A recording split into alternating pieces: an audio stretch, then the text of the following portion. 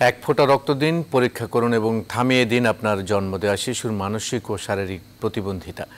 কনজেনিট congenital hypothyroidism বা thyroid হরমোনের অভাবে অভাব নিয়ে জন্ম নেওয়া একটি শিশু সারা জীবন মানসিক ও শারীরিক প্রতিবন্ধী হয়ে জীবন কাটায়। জন্মের চার সপ্তাহের মধ্যে রোগ নির্ণয় ও চিকিৎসা করা গেলে একটি শিশু প্রতিবন্ধিতা থেকে রক্ষা পাবে। বাংলাদেশে এমন রোগের চিকিৎসা দিচ্ছে পরমাণু শক্তি কমিশন বিস্তারিত জানুন হাসান পারভেজের প্রতিবেদনে। থাইরয়েড হরমোন শিশুর মস্তিষ্কের বিকাশ ও বৃদ্ধিতে সরাসরি ভূমিকা রাখে। যদি কোনো কারণে শিশু থাইরয়েড হরমোনের অভাব নিয়ে জন্ম নেয়, তবে সারা জীবন শারীরিক ও মানসিক প্রতিবন্ধী হয়ে জীবন কাটায়।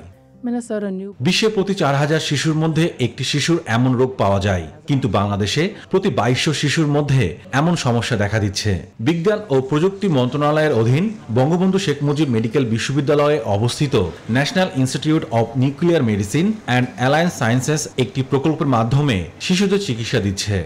ফিলিপাইনের মতো কান্ট্রিতে কোনো হসপিটাল যদি নিউবর্ন স্ক্রিনিং না করে সে হসপিটালের লাইসেন্স বাতিল হয়ে যায়। ইউএসএ কানাডাতে তো এটা তো বাধ্যতামূলক। এটা কেন করা উচিত? কারণ আপনার বাচ্চা জন্মগ্রহণ করলে সে সুস্থ স্বাভাবিক আছে কিনা? তার এই মানে জন্মগত ডিফেক্টগুলি আছে কিনা? এটা আপনি শিওর হয়ে যেতেছেন। বাংলাদেশে এখন পর্যন্ত প্রায় সাড়ে তিন লাখ শিশুর পরীক্ষা করা হয়েছে। এর মধ্যে একশো তেইশ জন শিশুর থাইরয়েড হরমোনজনিত সমস্যা দেখা গেছে। যেসব শিশু এখন চিকিৎসাধীন। এক মাস বয়সের মধ্যে যদি ট্রিটমেন্ট শুরু করা যায় তাহলে বাচ্চা নর্মালি সে বড় হবে শারীরিক এবং মানসিকভাবে। আর যদি ট্রিটমেন্ট দেওয়া না হয় সেক্ষেত্রে বাচ্চা প্রতিবন্ধী হবে। শিশু জন্মের পরই কিংবা কয়েক সপ্তাহের মধ্যেই নারী বা গোড়ালি থেকে কয়েক ফোঁটা রক্ত নিয়ে ল্যাবে পরীক্ষা করে জানা যায় জন্মগত কোনো সমস্যা আছে কিনা।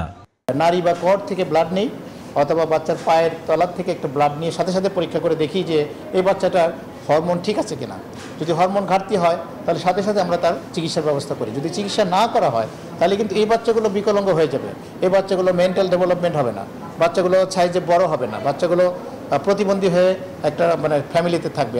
জন্মের পরে শিশুকে বাধ্যতামূলক স্ক্রিনিং বা রোগ নির্ণয় করা গেলে প্রতিবন্ধিতার অভিশাপ থেকে রক্ষা পেতে পারে প্রতিটি শিশু। Hasan Parvez News Twenty Dhaka.